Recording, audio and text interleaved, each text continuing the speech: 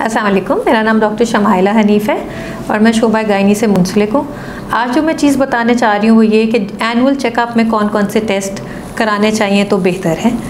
हर साल ये ज़रूरी है कि आप सीबीसी करवाएँ ताकि आप ये पता चल सके कि खून की कमी तो नहीं है। साथ में यूरिन का टेस्ट ताकि अगर यूरिन में कोई इन्फेक्शन है या पस है या कोई प्रोटीन निकल रही है यूरिन में तो वो उससे हमें पता चल सकता है कि कोई किडनी का डिसफंक्शन तो नहीं है। थायराइड टेस्ट बहुत ज़रूरी है। हमारे मुल्क में थायराइड की बीमारियाँ ज़्यादा हैं as compare to western so साल में एक दफ़ा टी एस एच हो जाए या दो साल में एक दफ़ा टी एस एच हो जाए तो हमें तसली हो जाएगी।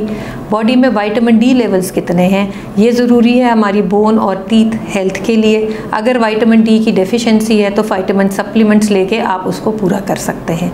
इसके अलावा जो टेस्ट हम रिकमेंड करते हैं वो शुगर का टेस्ट है, जिसमें हम हीमोग्लोबिन ए वन सी कहते हैं, जो बता सकता है कि पिछले तीन महीनों में कितनी शुगर का बॉडी में लेवल रहा है, इससे हमें आइडिया हो सकता है कि हम शुगर में कंट्रोल हमारी है या नहीं.